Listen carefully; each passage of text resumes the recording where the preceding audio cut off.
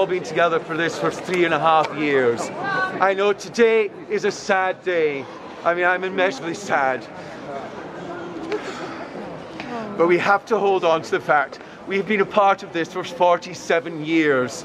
We contributed a lot, but we also gained a lot. Our society changed because of the influence of the EU, of all the member states, and we must never lose sight of that.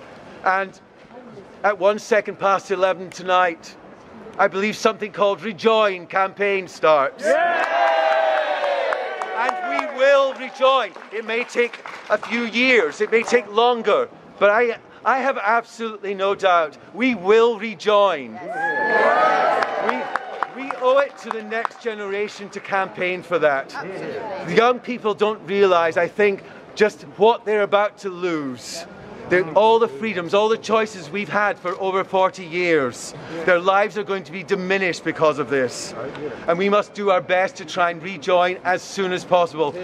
And we know it makes sense. Most of the country, it's in, it, apparently if there was a referendum tomorrow, 53% would vote to remain. It's, it is changing.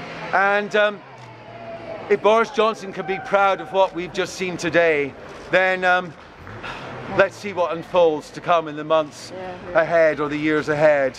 I want to thank you all for coming. I also want to say some say something very special. Clive Lewis, who has who worked tirelessly to try and stop Brexit. I campaigned since the day of the referendum. I met him on many occasions. Sadly, passed away yesterday, and and I just want to pay respect to the work he did, to the fight he put up, and to his family around it. We, you know, we will never forget the work he did. So, in memory of Clive Lewis. You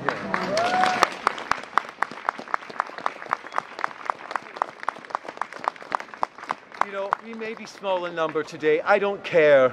You know, lots of news agency asked me in the last week how many people are coming. I said, I don't know. I don't care if it's just me. It's not about size. It's not about quantity of numbers. It's just about who we are. It's about the fact that we wanted to show respect today, that we honoured the people we've actually been dealing with for the last four, seven years. Nobody else seemed to in government want to do that. But actually, I'm grateful that we be part of this.